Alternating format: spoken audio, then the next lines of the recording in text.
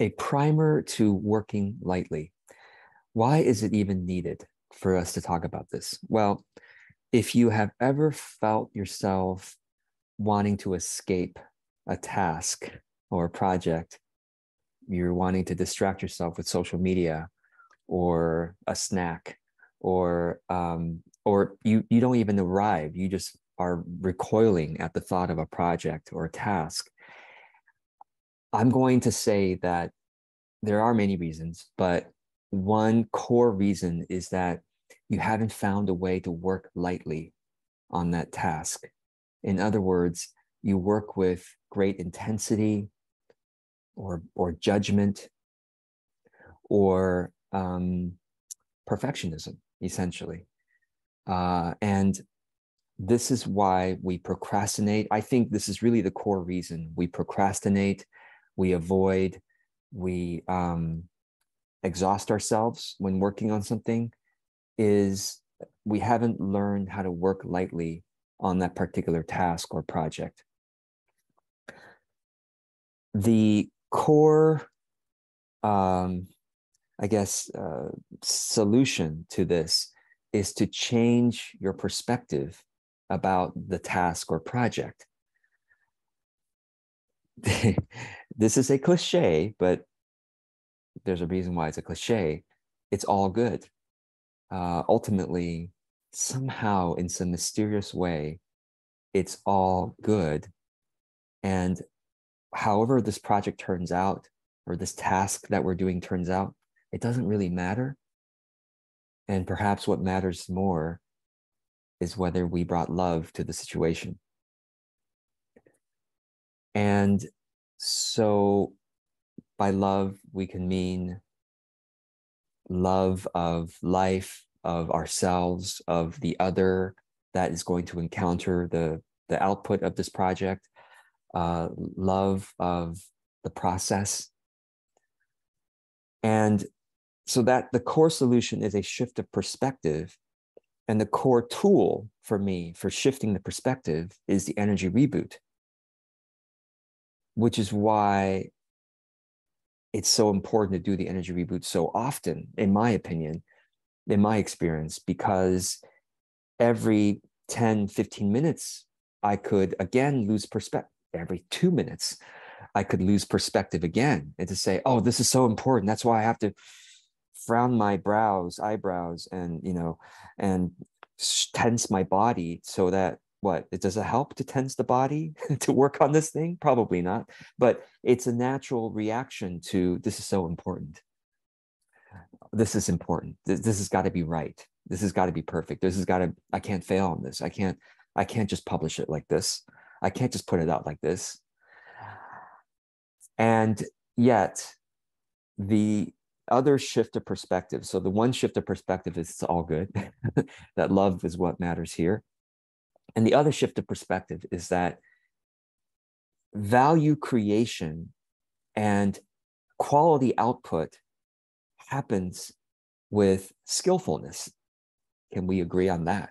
The more skillful you are about a task or project, the higher quality the output tends to be in a shorter time, also, right?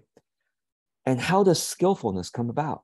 Skillfulness comes about through many reps.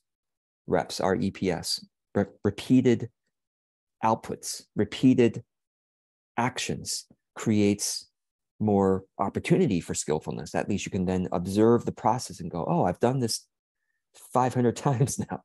I've done this four times now. And I've noticed now, I'm, I just noticed, oh my gosh, now that I'm doing it for the fifth time, I can do this a little differently here or differently there.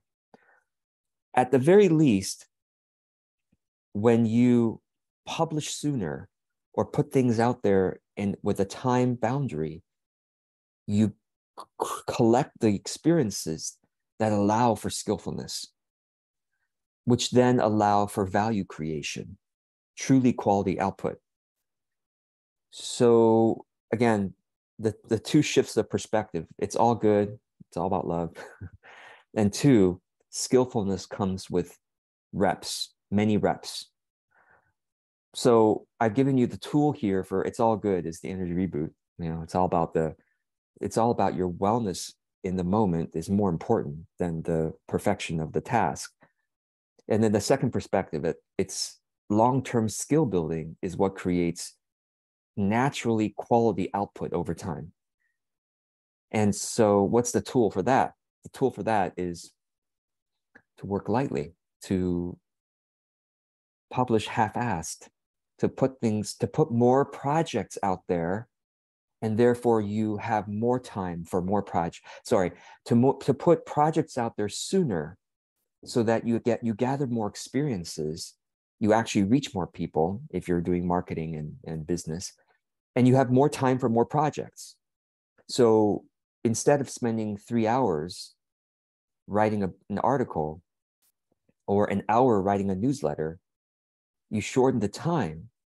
Now, it takes stamina, and this is the final thing I'll say. It takes exposure to working lightly to develop the stamina for working lightly. Ironically, it might think working lightly just means it's supposed to be easy. No, it's not easy because you've grown up with working hardly. it's a funny thing, right? It's a play on words. You work hard, so you recoil from work, and so you hardly work. because you're you're you're using all the wonderful distractions we have in modern times to to recoil from work because working is heavy and it has a lot of judgment uh, and perfectionism. So so this is this is the the homework for you or the yeah it's the ironic thing about working on working lightly means to continually practice these tools of something like an energy reboot and something like the tool of sh- shortening the time you spend on each task bit by bit. First, right now, you take three hours to write an article. That's working hard. Uh, and, and therefore, you don't have as many articles out there. And therefore, you can't test the market to see what you need to produce more. And so it's sort of like this vicious cycle of working hard, less experiences, slower skill building, versus working lightly, more experiences, greater reach, and greater skill building, faster skill building.